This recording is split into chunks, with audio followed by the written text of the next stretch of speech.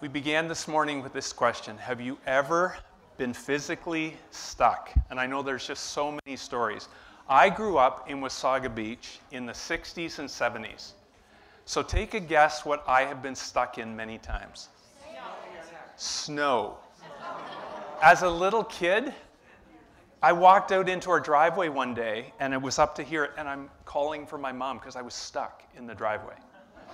I've been stuck on snowmobiles. I've been stuck in cars in the snow. Has anyone here, just by show of hands, you ever been stuck in mud? Whether it was, yes, whether it was something, you know, you physically or in a vehicle. Um, again, no doubt, many, many stories. How about this? Anyone, by show of hands, ever been hopelessly, desperately stuck in mud? Were you like worried that you might not get out? Okay. Oh, okay. All right. I see a hand. Um, years ago, Karen, my wife, uh, I can't recall exactly when she got these jobs, whether we were dating at the time or we were married, but it was, it was years ago, 40 plus years ago. Karen worked part time as a nurse at uh, Guelph General Hospital. We lived in Guelph. Uh, I was in university, she was nursing. We didn't live together, we were not married yet. I think that's when this happened. Anyway, she had additional jobs. She got a job at a floral shop, and she got a job working as a surgical assistant for an oral surgeon. And do you know how she got those jobs? Because she had two older sisters, and one was a full time florist, and so she got her in at the flower shop. And one was a full time surgical assistant for an oral surgeon, so she got her in to the oral surgeon's office. So talk about nepotism at its best. but the beautiful thing was, there was trickle down economics to me. Because of my connection to Karen and her connection to her sisters, guess where I got to work? I worked for the flower shop and for the doctor at his house. So the floral shop, believe it or not, I was in collections. In fact, I was the only one in collections. Can you believe that there are people who literally don't pay for their flowers? It was horrible. But we lived in Guelph, which was known at the time as a mafia town. So I would call up and I'd say, hey, it's Don Corleone. You pay up your flowers by Friday, or you'll be pushing up daisy, daisies by Monday. and they'd usually click or say, Who is this? But yeah, that's what I did Co- collections for the fly. But I also worked for Dr. Chuck, the oral surgeon. And he and his wife had a wonderful big hobby farm out near Elora. And so in the summer, I literally sat on their riding lawnmower two full days a week. That's how big their yard was. And it's also why my hearing is impaired today, because I rode a tractor two days of the week and was listening to all kinds of you know, music and messages and so on louder than the tractor, so hearing loss. But I also one summer got to paint a three car garage, but my favorite job at Dr. Chuck's was getting on the tractor, full size tractor, hooking up a wagon, and going rock picking in the field. we were talking about this on Friday. Rock picking the, in the field. And it was great. Enjoyed it so much. You fill up a wagon, go to the far corner, dump it in the big, big rock pile. Well, this one day I get to the house, and Chuck is waiting for me, and he says, Gord, you know it's rained for the last four days. The fields are really, really wet. I said, Should I not go out rock picking? He says, Oh, no, I want you to go rock picking because they got to plant soon, so it, it, needs to happen. But just be careful if, it, if you get into like really thick mud or, or, you know, really wet mud. I said, Well, what should I do? And he said, Well, what I would do is, is if I get in the mud, like really hit the gas and get through it. Well, guess what I found out? Dr. Chuck was a great oral surgeon but he was a terrible pedologist, which is a science or soil doctor, okay? Because it happened.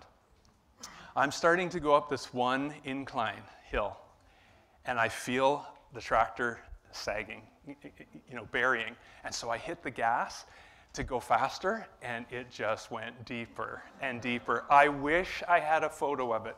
Cameras weren't invented like this, cell phones like this. And, uh, and so I was right up to the axles, right up to the axles in the mud. And I had to walk quite a distance through mud to get back to, to the house. And I called up Chuck. And, but, but here's the thing I was not hopelessly stuck. I really wasn't. I mean, I thought I might get fired. But I, I, knew, I knew in a week's time or less, that field would dry up. The neighbor tractor would come along, hook up a chain, and pull that tractor. I wasn't hopelessly stuck. But another time, I was. I truly was. Um, it was South Sudan. There was 10 of us, and we went on this mission trip. And we are four days away from Pearson Airport, and we're still not at our destination yet, the little village we were going to in Kajokeji, South Sudan. And the last leg of our journey was only 170 kilometers. That's all. And so 10 of us piled into this Land Rover, and that van loaded with our luggage and passengers to go 170 kilometers on roads like this. about eight hours into our journey, about eight hours into our journey, this happened in the middle of the night in the middle of nowhere. Here's the Land Rover, stuck not too badly, but here's the van, really stuck. Even more stuck in the same mud hole. Well, 20 young men stopped to help us, but they had been drinking quite a bit. And so it got kind of scary and kind of sketchy. And what added to it was that we were carrying between the 10 of us about 10,000 US dollars to bring to the ministry in South Sudan. And thankfully, Bruce, who was with us, had this prompting in one of the airports on the way that he shouldn't carry it all. And so he divvied it up to the 10 of us. So we're all carrying about a grand each. And to add to that, I don't know how you are when you travel, when you go different latitudes, but for me, my insides don't agree with that until they acclimate. And so I was raging sick, like going down the road to take care of business sick, right? And I remember the arguing happening, and then I saw it. Do you see that? Do you see the, the kind of makeshift rope? Well, that's the shortened version. It had been longer, but when they started to pull, they didn't like pull it tight and then pull. They just started pulling, and so it snapped. And so I remember Bruce, engineer, jumps in and he says, Look, can, can, can we do this properly? Can I kind of give some leadership to this? And, and so they're t- tugging away. But then they started, they had already negotiated a price. We'd negotiated a price with them to pay them uh, for their help, but now they wanted more because their rope, rope had bro- broke and they were filthy and it had taken a whole lot work. And it literally got quite sketchy. So much so that our guide from South Sudan told us all to get in our vehicles and I think he was thinking, if I don't make it out alive, at least you guys can go. And so he just one on one started negotiating with them, and it got argumentative. And I literally listened just a few days ago to a recording I made to our daughter, who at the time was 21 years old, because I thought at least if they find this recording on my body, I'm serious, they'll know what happened. So I listened to that recording the other day. I'm not going to, you know, let you sit through it, but but here's how it ended. I said, "Ruth Ann, we need prayer. We need God so desperately right now, so desperately." That happened. And finally, we got out. And then a couple of hours later, in the middle of the morning, three or four in the morning, we reached our destination 11 and a half hours later for 170 kilometers. What does being stuck have to do with Easter Sunday? Well, quite a bit. Here's what was read earlier. Now, Mary stood outside the tomb crying. Mary is crying. Why is she crying? Because her Lord, Jesus, who had literally delivered her from being possessed by demons, had died. That is not what the expectation of all of his followers was. Yes, he, he was going to lead them and be a king and overthrow the government of Rome, and they would be rulers with him. That's what their expectation was. But he's gone now, he's dead. And she's standing outside the tomb weeping. She's stuck. We also read the disciples were together with the doors locked for fear of the Jewish leaders. The disciples are afraid. They're afraid. Why? Because their leader has been taken and executed. Guess who's next? The followers are next. And they are absolutely gripped with fear that they're going to be arrested and maybe crucified as well. We read about Thomas. Thomas said to them, Unless I see the nail marks in his hands, and put my fingers where the nails were, and put my hand in his side, I will not believe. So Thomas is doubting. And just as Izu said, that's where we would all be. You say you've seen the Lord. It was probably some kind of a dream, an apparition, but I really doubt that people raise from the dead. I mean, it's just not scientifically possible. And so he's doubting. There's one more. In fact, there's seven more in John 21. And I picked Ian to read that because Ian's a fisherman. Ian, have you ever fished where you've caught nothing? Oh, yeah. Oh, yes. so he identifies. Simon Peter, Thomas, also known as Didymus or the twin, Nathanael from Cana and Galilee, sons of Zebedee, that's James and John, and two other disciples were together. And Peter says, I'm going out to fish. We'll go with you. So they went out, got into the boat, but that night they caught nothing. The disciples are fishing. You say, that's pretty innocuous. What's that about? They had left their trade, their life work of fishing three plus years ago. They're going back to fishing. Because the whole hope that they had had in following Jesus is gone. They're stuck. In fact, let's review. Mary is crying. The disciples are fearing. Thomas is doubting. The disciples are fishing crying and doubting, fearing and fishing, oh, and catching nothing. Doesn't that sound depressing? They're depressed. They are down. They are stuck, hopelessly stuck. Have you ever been there? Have you ever been there? So stuck you don't want to get out of bed in the morning. So stuck, you don't want to leave your, your home, your house, your apartment. So stuck, you feel like things are just dark and gloomy. And you start isolating.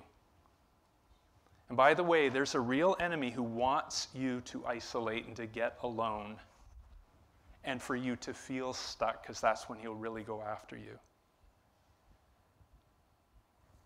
Have you ever had moments where you cry? Because life is hard. Life is really hard. Relationships are hard, and you've cried over relationships. Financial burdens are hard, and you've cried over your finances. Health struggles are hard, and you've cried. Death is hard. Yeah, we've all cried. How about fear? You ever been gripped with fear? Can I continue to pay the bills?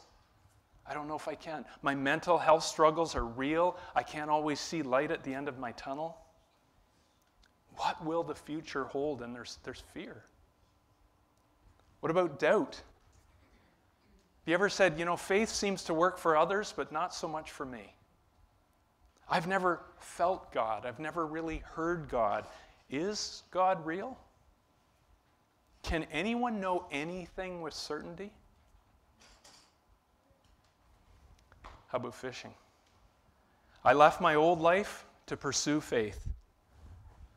Was it just another high in the pursuit of emotional and spiritual healing? I think I'll go back to what I know. There's not a lot of hope in it, but it is what I know. You know, as I thought about all that and thought about how stuck those followers of Jesus were, I thought, you know, why would Jesus leave them in that state? Like, honestly, he, with them, had such a beautiful three plus years together. Like, really beautiful. You talk about a disciple maker. He said, Come follow me, but it was so much more than that. It was like, Come and just do life with me 24 7. What a disciple maker he was. And, and how amazing was that for three plus years for them? The 72 and the, the, the 12 apostles and Peter, James, and John, kind of the, the close three. Amazing. But their expectation that Jesus didn't set up, but their expectation was he teaches such great things. He does such amazing miracles that truly this must be the Messiah. This is the one who's going to overthrow Rome and reestablish Israel. And we're on the inside with him. And their expectations were to the moon. But he's dead. He's dead. It's hopeless. But why would Jesus leave them in that state? So stuck. Well, here's why because he knows they're not going to stay stuck. They are coming out of their mud hole, and they are going to have a story like no other. Out of the mess is coming a message. Why? How? Here's why. Because Easter Sunday is about to change everything. Look what's going to happen. Look what's going to happen to Mary. Remember, Mary was crying. But we went on to read that she met Jesus. She met Jesus at the tomb. And listen to what she says when she runs to the disciples. Mary Magdalene went to the disciples with the news I have seen the Lord. And she told them the things he said to her. And now Mary is still crying, but it's for joy. She's crying for joy. Listen, Life is still hard for followers of Jesus. It is. But when the reality of Jesus is in your life, everything changes about your perspective on the difficulties of life. I don't know what all you've went through. I can only tell you about my experience. I was only 33 when I lost my dad. I was in my 50s when I lost my mom. Karen was in her 50s when she lost her, her dad and then her mom. Back in the fall of 2021, Karen had a cancerous brain tumor removed.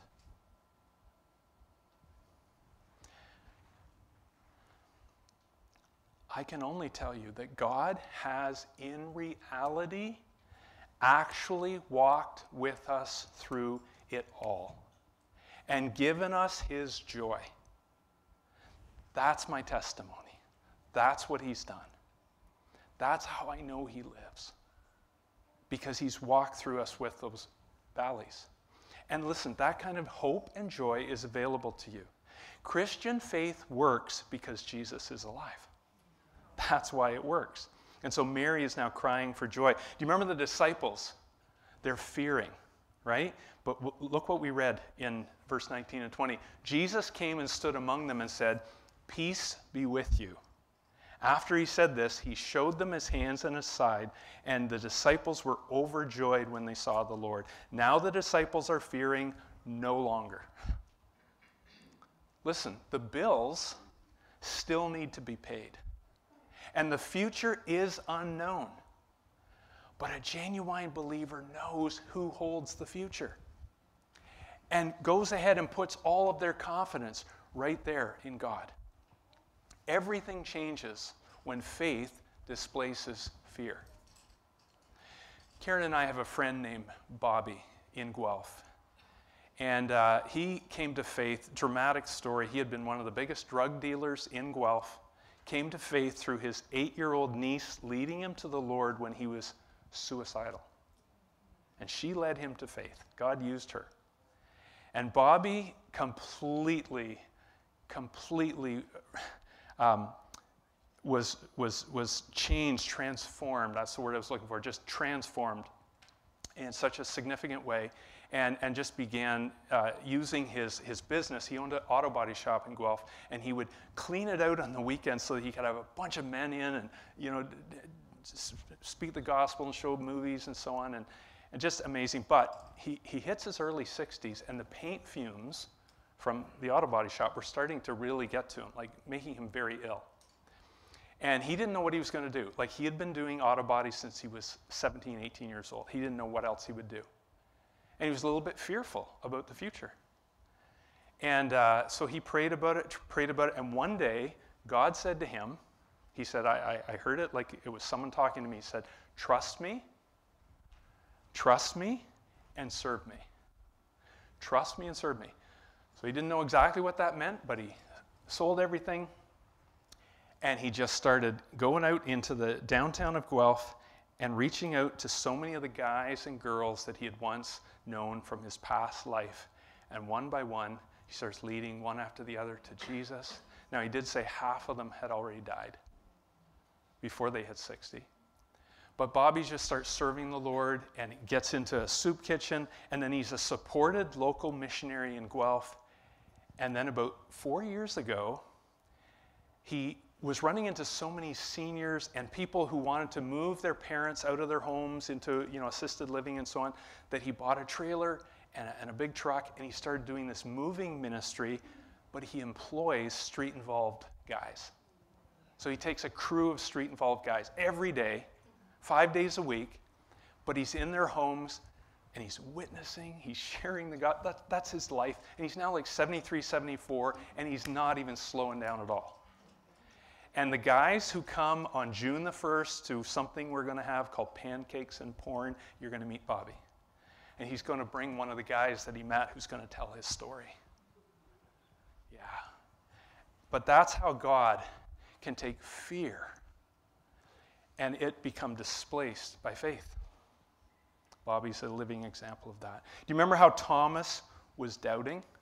But then we read these words. Then Jesus said to Thomas directly, Put your finger here. See my hands. Reach out your hand and put it into my side. Stop doubting and believe. Thomas said to him, and I think he probably fell to his face and said, My Lord and my God. Now, Thomas is doubting no longer. Some people think that the lesson of this Thomas incident is that seeing is believing. But the real lesson that Jesus taught is this believing is seeing. Believing is seeing. Listen, life throws curves. And sometimes doubts come with them, even for believers in Jesus. Followers of Jesus have doubts because of the curves of life. But wounded faith can become the strongest faith. Wounded faith can become the strongest faith. Let God's truth heal it and displace those doubts. I have a nephew who has brought so much joy in recent years because of what has happened in his life. Some of you, I know Lisa, Jackie, you know our nephew Tanner. For years and years, he and his sister would come for one week to go to VBS with us, eight years in a row as kids. Just two years ago, February, Tanner gave his life completely to Jesus at the age of 21. Praise the Lord. And there has been such a transformation in his heart. Um, and one of the guys that he's become close to at work, a coworker, is about 30 years his senior. And they've become really good friends, but he, the friend, would often say to Tanner, Tanner, I got to be honest, I knew you before, I've known you since. I think you might be brainwashed. I think that church you're going to in Barrie, I, I, I, think, you know, they're teaching you stuff that's not true. You're brainwashed. Science is at odds with your faith, and they, they've, had, they've gone camping together and had these discussions and so on. About a year ago, this coworker had something happen. His mom started getting dementia. and it was getting worse quickly. And so he, he decided to move her in with him. And to see her go downhill quickly the way he did, it started tearing him up and even messed with his health. And while that was happening, simultaneously, he was seeing Tanner's transformation. He was seeing Tanner's, not just talking about it, but seeing the real hope and the life and the joy in Tanner. And so, without Tanner's knowledge, he started reading the Bible. And he started talking to God and praying. And when Tanner found out, Tanner would send him, you know, little devotionals to do online. And just recently, his friend gave his life to Christ. He's received Jesus. And you know what he told Tanner just, just like a week or so ago? He said, I am full of hope. I am full of joy. And it's supernatural. Like, I could not have imagined having this kind of hope and joy that I have right now. And apparently, just yesterday, they went to church and he wept through the entire church service because it just so moved him to think of what Jesus had done for him.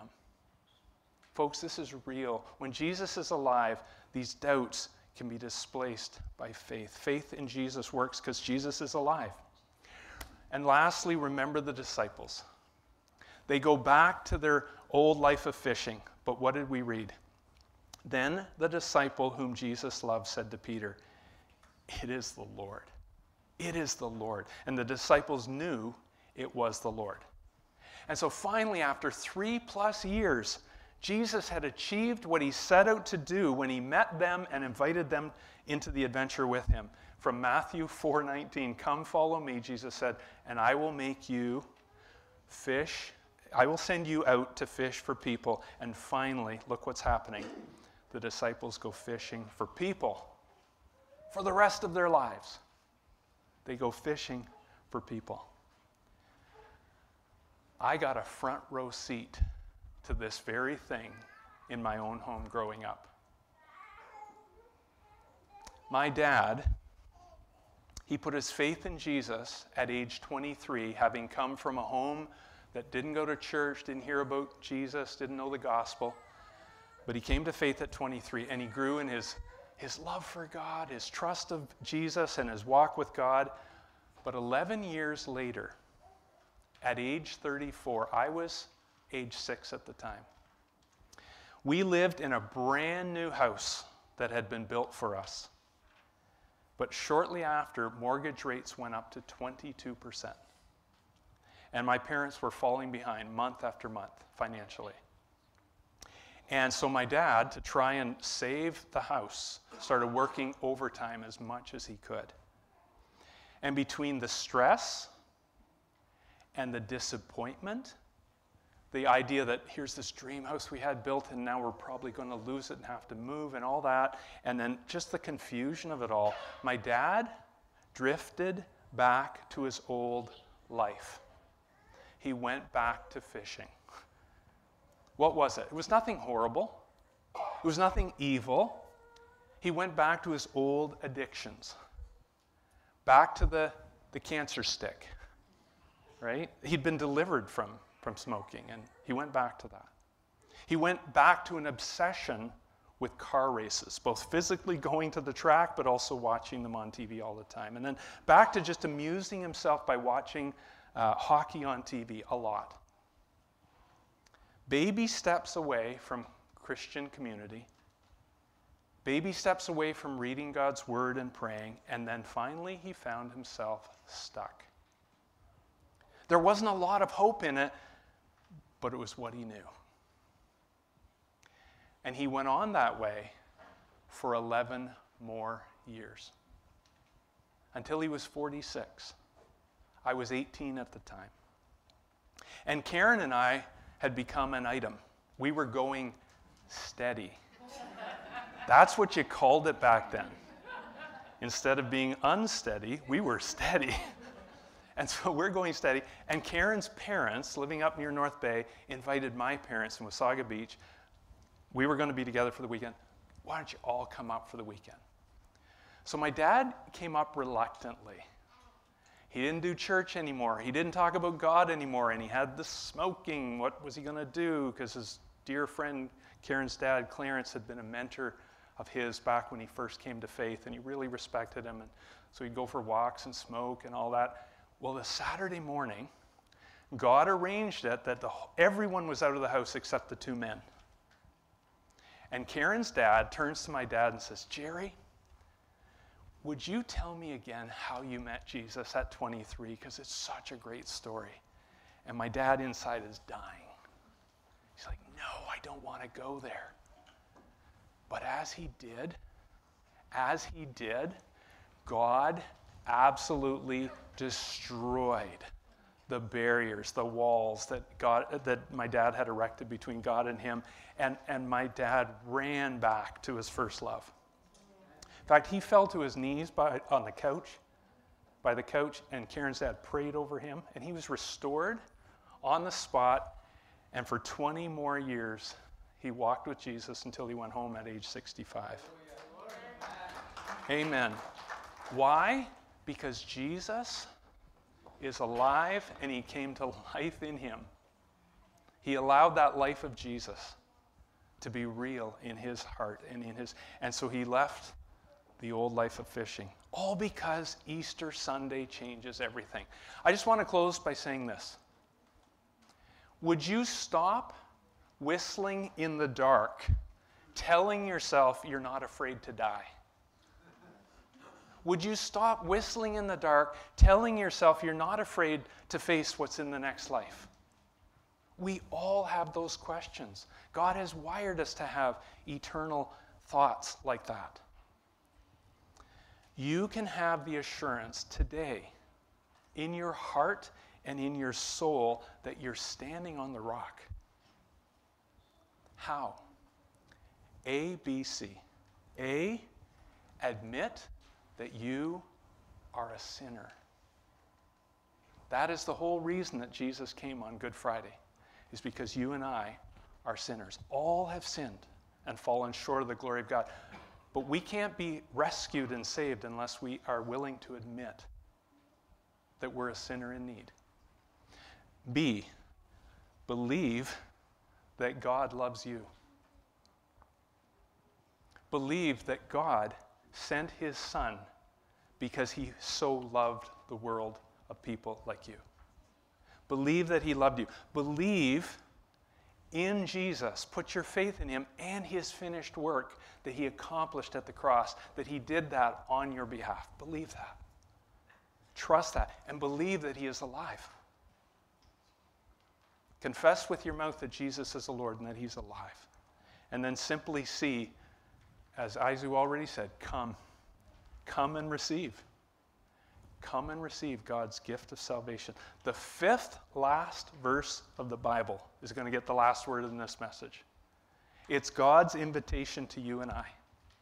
And here's what it says The Spirit and the bride say, Come.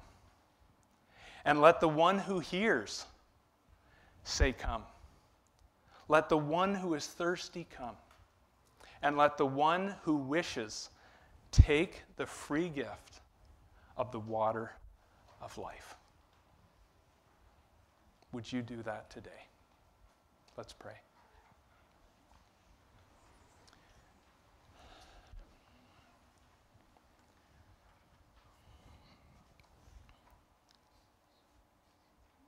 A step toward you, God, is a step away from being stuck.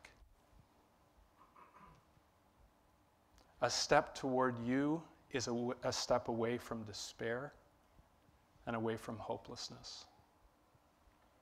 May each one of us today take a step toward Jesus.